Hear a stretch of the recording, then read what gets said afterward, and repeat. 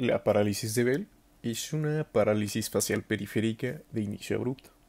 Como dato cultural hay que saber que fue acuñada por el anatomista Sir Charles Bell, quien fue el primero en descubrir esta parálisis idiopática a principios del siglo XIX. Eh, a Bell también se le conoce se le reconoce por identificar el nervio torácico largo, el cual también se llama nervio de Bell. Solamente hay que saber esto para evitar algún tipo de confusiones. Ahora, el término de parálisis de Bell se reserva para parálisis facial en la que se presentan signos y síntomas que son consistentes con esta enfermedad y cuando se han excluido eh, otras etiologías para esta enfermedad. Otras etiologías de una parálisis facial podría ser, por ejemplo, una malignidad cutánea o metastásica, un neuroma facial, un tumor intracraneal, infección, problemas neurológicos. Estos mencionados requieren un tratamiento diferente a la parálisis de Bell. Entonces hay que saber que los criterios diagnósticos mínimos para una parálisis de Bell es que haya una parálisis o parecia de todos los grupos, de todos los grupos eh, musculares ipsilaterales entiéndase de un lado de la cara, que sea de aparición abrupta y que haya una ausencia de signos de enfermedad del sistema nervioso central, del oído o del ángulo pontocerebeloso. Y explicado simplemente hay que saber que la parálisis de Bell es un daño al nervio facial después de que el, este nervio facial ya salió del ángulo pontocerebeloso, por eso es periférica. Y eh, a entender aquí la parálisis es eh, el daño en el nervio es ipsilateral del lado de la parálisis. Entiéndase que si yo tengo paralizada toda mi, mi, mi cara derecha el daño en mi nervio facial es del lado derecho. Entonces vamos a ver un poquito de epidemiología. Lo único relevante que hay que saber es que la mayor incidencia se da en mayores de 65 años y en mujeres embarazadas como patogénesis hay que saber que la, la teoría con más eh, peso y, mayormente aceptada es que es secundaria a una infección viral. Esto es por una reactivación del virus del herpes simple y esto eh, se tiene prueba debido a que se han encontrado ADN del herpes simplex virus tipo 1 en el ganglio del trigémino y eh, del geniculado. Entonces, eh, ¿qué es lo que vamos a ver en la, en la histopatología? Se ha demostrado que eh, el perineuro de este nervio facial se ve engrosado y edematoso y hay un infiltrado de células entre los haces nerviosos y entre los vasos interneurales. Y también vamos a estar viendo una degeneración en las vainas de mielina.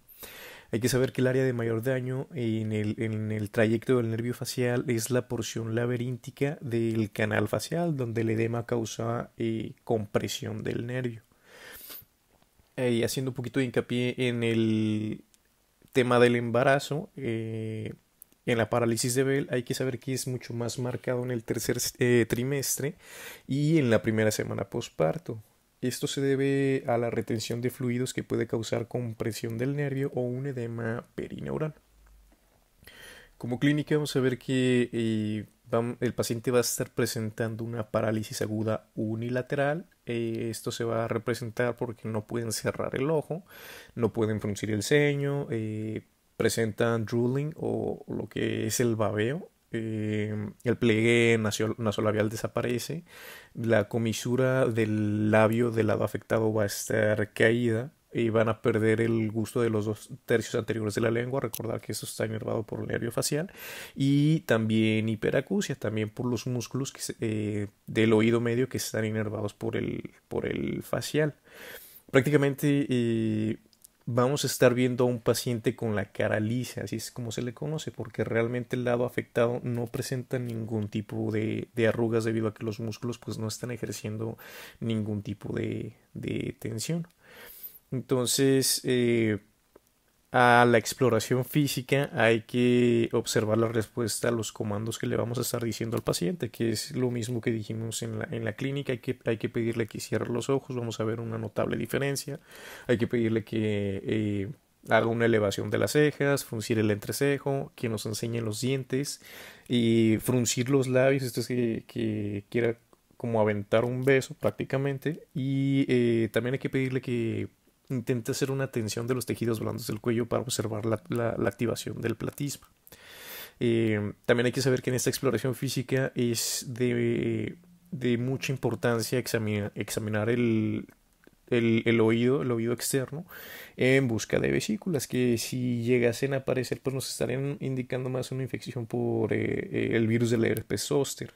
Y también hay que estar buscando masas en la, en la parótida como estudios de imagen, pues la resonancia magnética va a ser de lo más útil, ya que eh, las áreas más eh, consistentes con un realce cuando, la, cuando utilizamos el gadolinio, vamos a estar viendo que se realza más el segmento distal meatal y laberíntico.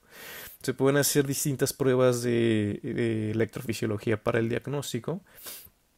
Y bueno, eh, Dentro del tratamiento vamos a estar utilizando corticosteroides. Se ha visto que hay una menor probabilidad de sinquinesis si los esteroides se instauran dentro de las primeras 48 horas. También se pueden aplicar eh, antivirales aunque no hay una evidencia eh, no se ha comprobado que sean, que sean muy útiles. Se le tiene que informar al paciente que se puede administrar, sin embargo, no se garantiza una mejoría y si es que la, la, mejoría no se ha comprobado que sea muy significativa. También como el tratamiento se pueden optar por una descompresión quirúrgica, sin embargo no es muy utilizado debido a que eh, con el abordaje quirúrgico se puede llegar a dañar aún más el nervio y pues hay que saber que a los pacientes pues deben de tener el, el ojo lubricado, esto con, con lágrimas artificiales. Eh, ya viendo un poquito los diferenciales, hay que hacer un diferencial con el herpes zóster. Eh, como ya lo mencionamos, se van a estar observando vesículas en el meato externo. Eh, el síndrome de Ramsay-Hunt se refiere al herpes zosterótico o prácticamente cualquier zóster cefálico complicado con una parálisis facial o síntomas auditivos o vestibulares. Y em, nada más algo que hay que considerar aquí en el herpes zóster es el término de una neuralgia preherpética. Esto es eh, dolor en distintos dermatomos y disestesia que va a estar ocurriendo previo a la aparición de las vesículas. Otros diferenciales que pueden estar causando esta parálisis facial puede ser una otitis media. Eh, la parálisis facial es una complicación de la otitis media.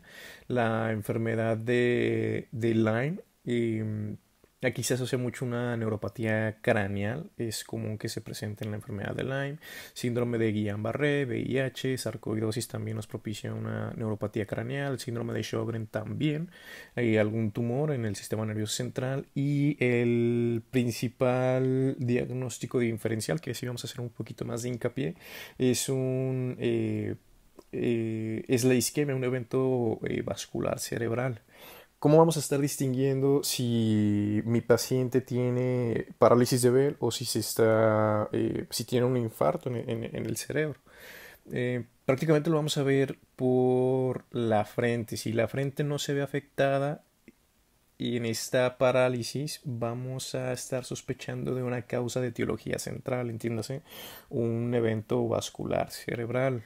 ¿Esto porque Es debido a que los músculos faciales superiores van a recibir inervación de ambos hemisferios del cerebro en contraste con los músculos faciales inferiores. Podemos estar dividiendo la cara en tres tercios, prácticamente el primer, el tercio superior va a estar recibiendo una inervación del lado ipsilateral, o sea, de, de un hemisferio y del otro, mientras que los dos tercios inferiores van a estar recibiendo una única inervación del lado contralateral. Entonces, eh, las neuronas motoras inferiores localizadas en el núcleo del nervio facial van a estar inervando los músculos superiores de la cara. Como ya lo dijimos, van a, van a estar recibiendo inervación del lado contralateral e ipsilateral. Entonces, del hemisferio del lado contrario y del mismo hemisferio en el que, en el que está este, este núcleo. Y pues, como ya lo dijimos, las neuronas están inervadas por eh, perdón, la frente está inervada por neuronas del lado ipsilateral. Ahora, en contraste, las neuronas motoras inferiores localizadas en el núcleo del nervio facial que inervan a los músculos inferiores de la cara únicamente reciben la inervación del lado contralateral. Entonces, eh, ¿qué quiere decir esto? En un evento vascular cerebral lo primero que nada vamos a tener una lesión supranuclear. ¿Esto qué es? Que están por arriba del núcleo del facial, entonces de origen central. Y las neuronas eh, motoras superiores son las que están afectadas. Esto resulta en parálisis de las fibras motoras contralaterales, sin embargo no van a estar afectando la frente debido a que esta está inervada por el hemisferio ipsilateral en la que no en la que no se está el que no se está infartando prácticamente. Tenemos los dos hemisferios. De nuevo hay que hacer mucho énfasis en esto porque esto es una es una emergencia médica. Entonces si tenemos los dos hemisferios eh, y del lado donde está ocurriendo este evento vascular, ya sea isquémico, hemorrágico, de cualquier índole, eh, prácticamente esas fibras que, que, esas fibras motoras superiores que vienen desde la corteza eh, se van a ver afectadas y por ende se va a ver afectada todo ese trayecto de fibras motoras. Sin embargo, del, del otro lado, el lado sano sigue emitiendo su inervación hacia la frente. Entonces es por esto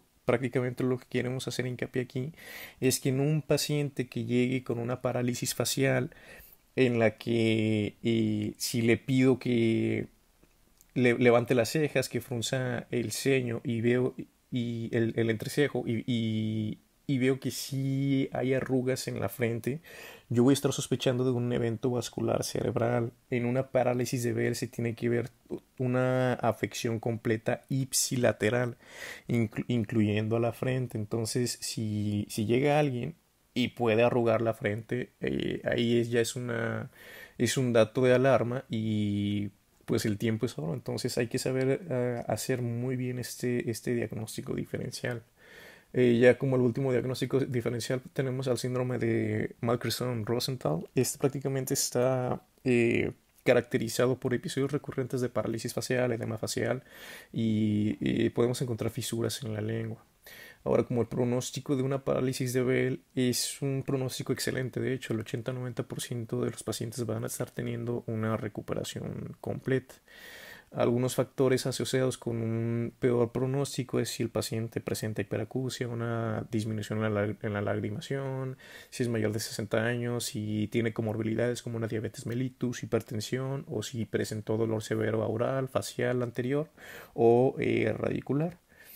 Y este, pues dentro de este, dentro del, nada más para hacer un poquito hincapié, dentro del pronóstico en la, en el EBC y que no, es tema de, esta conversación porque estamos hablando de la parálisis de Bell, pero sí hay que hacer mucho hincapié en los fisioterapeutas, que ellos tienen mucho que ver con el pronóstico de un paciente que sufre un, un infarto cerebral.